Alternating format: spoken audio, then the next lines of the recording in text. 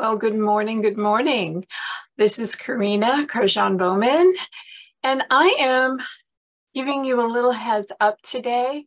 We've got a lot of construction going on here. So, for the CSI talk show, Create a Source of Inspiration, it is a pre recorded meeting in chat that you're going to get to hear, and please don't miss it. I'm going to actually upload it earlier the timeline is different. We have a special guest, Aldwyn Altuney from Australia, known as the Media Queen.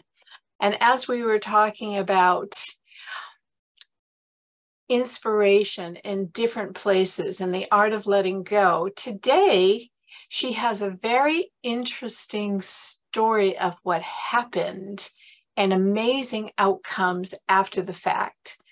So even in most difficult situations, unexpected and kind of traumatic, inspiration can come through. So we all really do honestly impact one another when we have good intentions to really let that out. Also, you're going to hear a little bit of news about the Global Good News Challenge. I'll put all of that information up after uh, one o'clock today. And I encourage everybody to jump into the challenge. It's year long, it's a lot of fun. There's a lot of different prizes in it.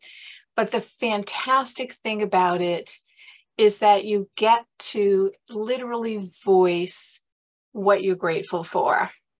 Now, I'll be putting a link that has all the instructions and all the information about it.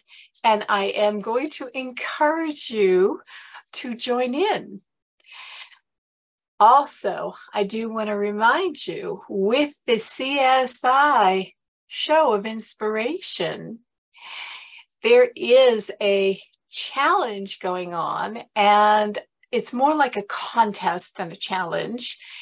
And there's also a raffle involved. So, a couple of things that will happen when you submit a, a story of inspiration. And I will put the email link again down there, but that is Caryna, C A R Y N A dot author at gmail.com.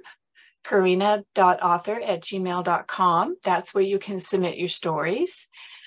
Certain stories will be selected and then at the end of the year, there's going to be a raffle. And with that raffle, a few stories are going to be selected to be published into my next book. So, if you're a person that really wants to get inspired and inspire others and people that you don't even know, please join in on that beautiful raffle. So today it's it's about 40 minutes you're going to see this amazing woman, journalist. Uh, I'm not going to tell you her history because I tell you on the recording and I want you to come and listen.